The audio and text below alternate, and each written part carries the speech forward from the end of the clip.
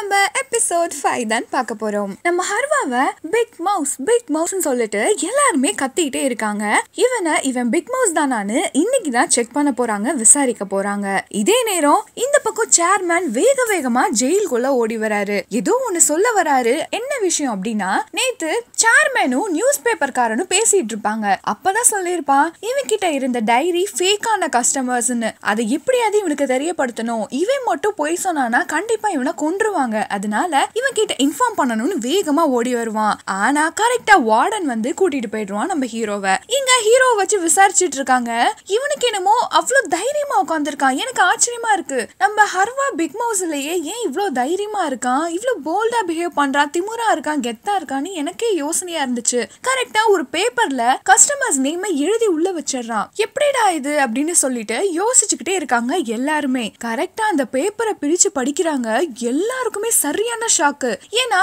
உண்மையான டீலர்ஸ் அந்த drug டீலர்ஸோட name எழுதி வச்சிருக்கான். இத பார்த்ததும் சேர்மேனுக்குமே செம்ம ஷாக் ஆயிடுது. இத வெளியில இருக்க கைதிகள்ல ஒரு ஆள் கேட்டுட்டு வந்து சொல்லிடுறான் பிக் மவுஸ் கரெக்டான ட்ரக் டீலரை சொல்லிட்டான் அப்படின்னு சொல்லிட்டு. உடனே வெளியில இருந்து பிக் மவுஸ் பிக் மவுஸ்னு கத்த ஆரம்பிச்சிடுறாங்க. இதே நேரம் அந்த டீலரோட நேம் எழுதியிருப்பான்ல. சோ அவனோட அவனை கூப்பிட்டு விசாரிக்க ஆரம்பிக்கிறாங்க. அந்த விசாரணை ரூம்ல இருந்து வெளியில அந்த பேப்பர்காரனும் சேர்மேனும் என்ன சொல்றான் அப்படின்னு கவனிச்சுட்டே இருக்காங்க. இதே நேரம் நம்ம ஹீரோவை கூட்டிட்டு வராங்க. இவன் யாருன்னு தெரியுமா அப்படின்னு கேக்குறாங்க. அந்த ட்ரக் டீலருக்கு அள்ள விடுது. நம்ம ஹீரோ பார்த்து பயப்படுறான். ஏன் இவன் இப்படி பண்றான்னு ஒண்ணுமே புரியல. ஹீரோ அப்படியே கெத்தா பார்த்துட்டு எனக்கு இவன் யாருன்னு தெரியலையே அப்படின்னு சொல்றான். நம்ம ஹீரோ பார்த்துட்டு அந்த ட்ரக் டீலருக்கு நடுங்குறான். கொஞ்ச நேரத்துல அவனுக்கு ஷிவர் ஆகுது. ஸோ ஸோ இன்ஜெக்ஷன் எடுத்துக்கிறாங்க. அவனுக்கு கை கால்லாம் நடுங்குது மூச்சு வாங்க ஆரம்பிக்குது. ஸோ இவனுக்கு உடம்பு சரியாதனால அவனுக்கான இன்ஜெக்ஷனை எடுத்து போட்டுக்கிறான். இன்ஜெக்ஷன் போட்டு கொஞ்ச நேரத்துல வாயில நொர நுறையா வந்து சாகுறான். ஹீரோ அப்படியே கொஞ்ச நேரம் அவனே பார்த்துட்டு இருக்கான். டக்குன்னு என்ன நினைச்சான்னு தெரியல. வேகமா அவனை போய் காப்பாத்த போறான். இத வெளியில இருக்க நியூஸ் பேப்பர்காரன் பார்த்துட்டு துடிக்கிறான். ஐயோ அவனை கொன்னுட்டான். ஐயோ போச்சு. உண்மை தெரியாம போயிடும் என் பணம் எல்லாம் போச்சு அப்படின்னு கத்த ஆரம்பிச்சிடுறான். இத நம்ம சேர்மேன ஆச்சரியமா பாக்குறாங்க.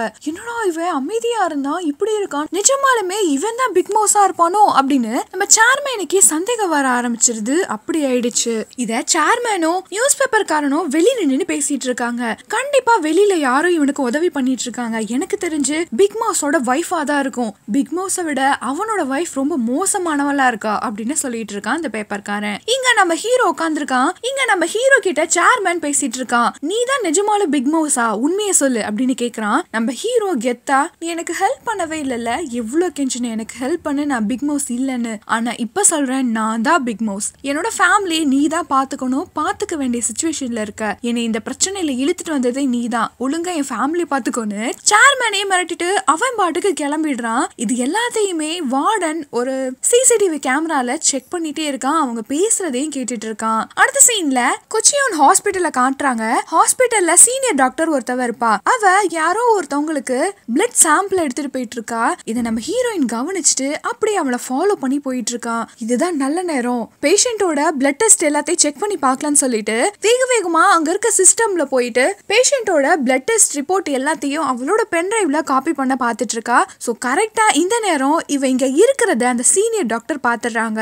அவளை எப்படியாவது ஃபாலோ பண்ணி வைக்கணும்னு சொல்லிட்டு வேணும்னே ரிசர்ச் பண்ற ஒரு அண்டர் ஆபரேஷன் ரிசர்ச் பண்ற ஒரு பிளேஸ் இருக்கும். மெடிசன் எல்லாம் வச்சிருப்பாங்க. ஸோ அந்த பிளேஸுக்கு மெதுவா அவ நடந்து போயிட்டு இருக்கா அப்படியே ஹீரோயின் இவளை ஃபாலோ பண்ணிட்டே பின்னாடியே போயிட்டு இருக்கா இது எல்லாமே இவங்க பிளான் தான். இவ கரெக்டா போய் ஒளிஞ்சுக்கிறா. இப்போ அந்த இடத்துக்கு டேரக்டர் வந்துடுறாங்க ஹாஸ்பிட்டலோட டேரக்டர் சாரி இதுக்கு முன்னாடி மேயரை சேர்மேன் சொல்லிட்டேன். சாரி பட் மேயர் ஹீரோ கூட உட்காந்து பேசிட்டு இருந்தாங்களே ஸோ அவங்க வந்து மேயர் இவங்க தான் அவங்களோட ஒய்ஃப் நம்ம ஹீரோயினை செம்மையை திட்டுறாங்க உன் வேலையை ஆரம்பிச்சிட்டியா? உங்ககிட்ட அடிக்கடி இப்படி வந்துலாம் பேசிட்டு இருக்க முடியாது. எனக்கு இருக்க பிஸி ஷெடியூல்ல உன்கிட்ட நீ என்ன பண்ணுவேன்னு செக் பண்ணிட்டுலாம் இருக்க முடியாது. ஒழுங்கா உன் வேலையை மட்டும் பாரு இல்லைன்னா வேலையை விட்டு தூக்கிடுவேன்னு மிரட்டிட்டு போறாங்க. அடுத்த சீன்ல நம்ம ஹீரோ வெளியில உட்காந்துருக்கான் இந்த நியூஸ் பேப்பர்காரன் இவன் தான் பிக் மோஸ்ன்னு சொல்லிட்டு என்னோட பணத்தை எங்க வச்சிருக்கா? ப்ளீஸ் கொடுத்துரு. அது ஏகப்பட்ட பணம். என்னோட உயிர் அதுதான். அப்படின்னு சொல்லி சொல்லிட்டு இருக்கான். இப்ப நம்ம ஹீரோ எதுவுமே சொல்லாம அமைதியா இருக்கனால நீ சொல்லலைன்னா வெளியில இருக்க உன் வைஃப் அப்படின்னு சொல்ல வரான். இப்ப கரெக்டா நம்ம நியூஸ் பேப்பர்காரனோட வைஃப் கால் பண்றான். என்னங்க? ஃபியூனரலுக்கு எடுத்துட்டு வர ஃபிளார்ஸ்லாம் எனக்கு கொடுத்து அனுப்பிச்சிருக்கீங்க மாத்தி எதுவும் அனுப்பிச்சிட்டீங்களா அப்படின்னு இன்ஃபார்ம் பண்றா. இவன் உடனே டர் ஆகி அப்படியே திரும்பி பார்க்குற நம்ம ஹீரோவை ஒரு பேக்ரவுண்ட் மியூசிக் கொடுக்குறாங்க.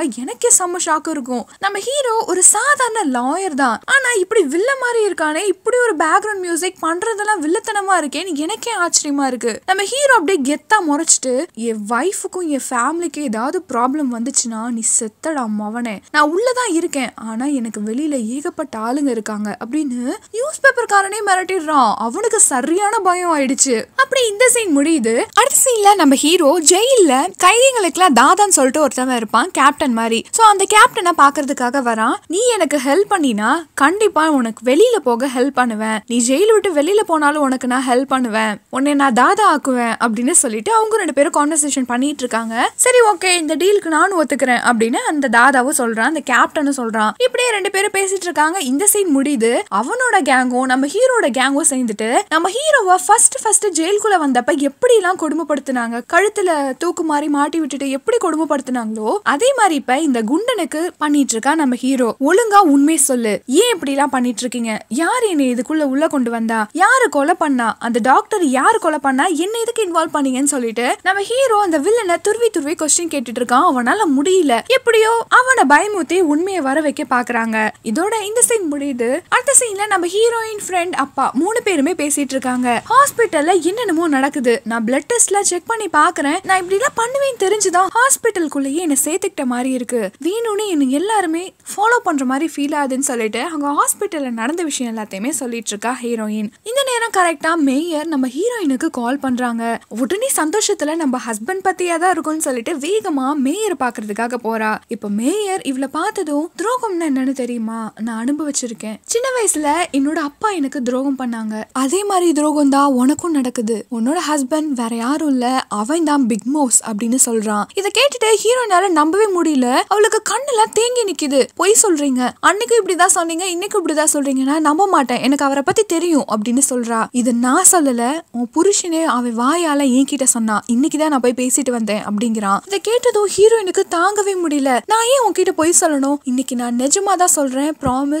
உன் புருஷன் தான் பிக் மோஸ் அப்படின்னு சொல்றான். இதை கேட்டதும் ஹீரோயினால தாங்கிக்க முடியல. அழுதுட்டே வேகமா ஓடிடுறா. பஸ்ல எல்லாம் உட்காந்துட்டு நம்ம ஹீரோவை நினைச்சு அவ்வளோ ஃபீல் பண்றா. நான் ஏமாந்துட்டேனா? என்னை ஏமாத்திட்டானா? அப்படின்னு சொல்லிட்டு ஃபீல் பண்றா. ஒரு துரோகத்தோட வழி என்னன்னு எனக்கு நல்லாவே தெரியும். நம்ம ஒருத்தவங்களை உண்மையாவே நேசிச்சிருப்போம். அவங்க நம்ம கிட்ட உண்மையா தான் இருக்காங்கன்ட்டு நம்மளும் நம்ம மனசுக்குள்ள இருக்க ஒட்டுமொத்த காதல் அன்பு எல்லாத்தையும் சேர்த்து போய் கொட்டியிருப்போம். அவங்க இல்லைன்னா நம்ம இல்லைன்னு சொல்லிட்டு அப்படி ஒரு நிலைமைக்கு வந்திருப்போம். இந்த நேரத்துல நம்ம காட்டின அன்பின்லாம் வேஸ்ட் அவங்க நம்ம கிட்ட உண்மையாவே இல்லை. அவங்க நம்ம கிட்ட பொய்யா இருந்திருக்காங்க. நமக்கு துரோகம் பண்ணியிருக்காங்கன்னு தெரிஞ்சா அது எவ்வளோ பெரிய வழியை உண்டாக்கும்? லைஃபே போயிடும் இல்லையா? அந்த மாதிரி சுச்சுவேஷன் தான் இப்போ நம்ம ஹீரோயினும் இருக்கா. பஸ்ஸில் அவளால் கண்ட்ரோல் பண்ண முடியல. எல்லாரும் அவளை வேடிக்கை பார்க்குறாங்க. செம்மையை அழுதுட்டே போயிட்டு இருக்கா இதோட எபிசோட் ஃபைவ் முடியுது. ரொம்ப சோகமா இந்த எபிசோட் ஃபைவ் முடிஞ்சிருக்கு. இதோட கண்டினியூஷனா எபிசோட் சிக்ஸ் நம்ம சீக்கிரமா பார்த்துடலாம் அடுத்து ஒரு செம்மையான ரொமான்டிக் ட்ராமா எடுத்து வச்சிருக்கேன். நம்ம இந்த ட்ராமா போட போறேன்னு முன்னாடியே சொன்னா அதை அடுத்த சேனல்ல போட்டுடுறாங்க எனக்கு அது சரியான சிரிப்பா இருக்கு. சரி அதனால வேணாம். சஸ்பென்ஸாவே கொண்டு போவோம். அடுத்து நம்ம என்ன டிராமா பார்க்க போறோம்னு? என்னோட செலெக்ஷன் கண்டிப்பா உங்களுக்கு பிடிக்கும்னு நினைக்கிறேன். இந்த டிராமாவும் உங்களுக்கு பிடிச்சிருக்கும். அடுத்தடுத்து சூப்பரான டிராமா பார்க்கலாம். இந்த வீடியோஸ் உங்களுக்கு பிடிச்சிருந்தா லைக் பண்ணுங்க கமெண்ட் பண்ணுங்க. மறக்காம சப்ஸ்கிரைப் பண்ணிடுங்க. நான் அடிக்கடி சப்ஸ்கிரைப் பண்ணுங்கன்னு சொன்னாதான் சப்ஸ்கிரைப் பண்ணுவீங்களா? இல்லல்ல. உங்களுக்கு என்னோட வாய்ஸும் வீடியோவும் நான் கொண்டு போகிற தோரணையும் உங்களுக்கு பிடிச்சிருந்தா கண்டிப்பாக நீங்கள் எனக்கு சப்ஸ்கிரைப் பண்ணிடுவீங்க. அதனால நான் அடிக்கடி சப்ஸ்கிரைப் பண்ணுங்கள் கமெண்ட் பண்ணுங்கள் லைக் பண்ணுங்கன்னு சொல்கிறத கொஞ்சம் கம்மி பண்ணிக்கிறேன். நீங்களே கொஞ்சம் பார்த்து போடுங்கப்பா. Okay friends bye